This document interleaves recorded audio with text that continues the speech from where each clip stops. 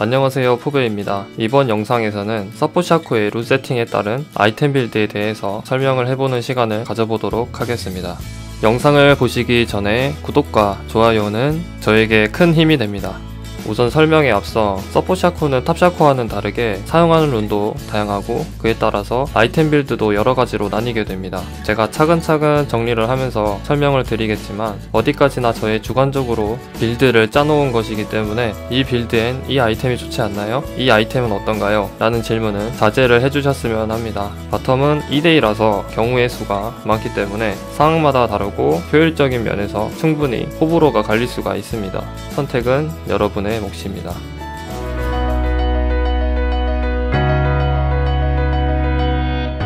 가장 무난하게 선택하는 build입니다. 소소한 견제와 쿨감 세팅으로 인해서 최대한 박스의 개수를 유지할 수가 있고 deal loss가 가장 적은 build라고 볼 수 있습니다. 유성 build는 두 가지 build로 나뉠 수가 있습니다. 첫 번째는 가장 무난하게 원딜을 보조하면서 상대팀을 교란시키는 일명 정석 build라고 볼 수 있습니다. 2코어까지 가성비가 좋은 아이템 위주로 세팅을 하는데 라일라이에 대해서 설명을 좀 드리자면 상대팀이 샤코를 겨냥해서 렌즈나 제어ward로 도배를 해버리면 박스의 공포가 무용지물이 되지만 라일라이를 가게 되면 박스 deal에도 slow가 묻기 때문에 렌즈나 제어ward 카운터용으로 사용하는 편입니다.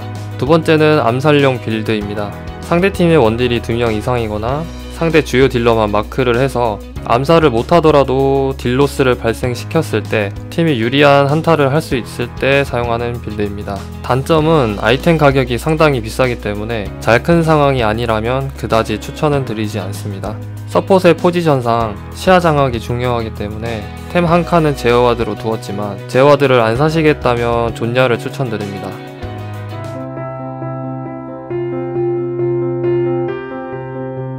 초반 견제 용도로 사용하거나 상대 서폿이 모르가나일 때 사용하는 build입니다. 콩콩이의 경우에 평타는 물론 모든 스킬로 발동시킬 수 있다는 장점으로 인해서 E선마를 했을 경우 아주 좋은 시너지를 볼 수 있습니다. 모르가나 상대 전용 build라고 소개를 드렸었는데 그 이유는 E 스킬은 분리 damage이기 때문에 모르가나의 블랙 실드를 뚫습니다. 엄청난 빅엿을 먹일 수가 있죠. E선마의 가장 큰 약점은 상대 원딜이 선 몰왕검을 가는 champ들인데 아무리 견제를 하더라도 유지력에서 밀리지만 우리 원딜이 견제력이 좋은 진, 케이틀린 같은 champ와 함께 사용하면 충분히 라인 주도권도 잡고 타워 압박이 가능하며 박스 설계로 인해 ganking에 대해서도 자유로운 편이라서 초반 단계에서 빠르게 게임을 굴리고 싶으시면 사용하기 좋은 build입니다. bottom 듀오로 사용했을 때 좋습니다.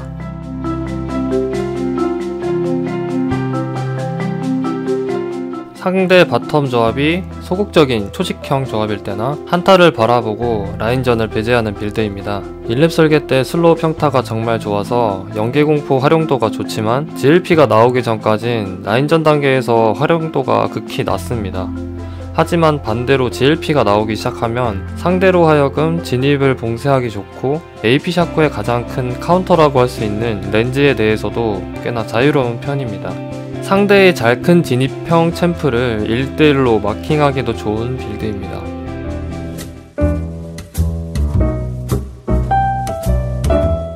원딜 하나만 보고 사용하는 build입니다. 장점이라고 한다면 타곤산을 가기 때문에 돈 수급이 좋다는 점, 라인전이 좀 더 안정적이라는 점이 있지만 단점은 킬각을 보기 힘들다, 마나 관리가 힘들다는 점이 있습니다. 아이템 세팅도 지크와 기사의 맹세를 가기 때문에 무조건 원딜을 보조해야 하는 build다 보니 원딜 의존도가 너무 높아서 원딜이 못하면 차라리 딜build로 가시는 게 맞습니다. 전적 검색을 생활화합시다.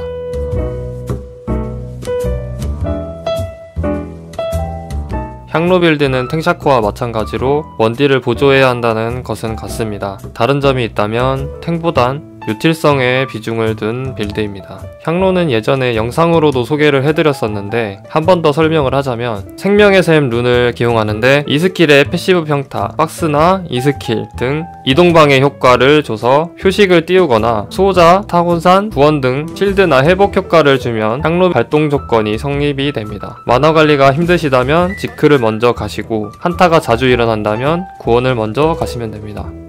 이상으로 제가 준비한 영상은 여기까지입니다. 도움이 되셨나요? 구독과 좋아요는 저에게 큰 힘이 됩니다. 궁금하신 점은 댓글로 남겨주세요. 영상 봐주셔서 감사합니다.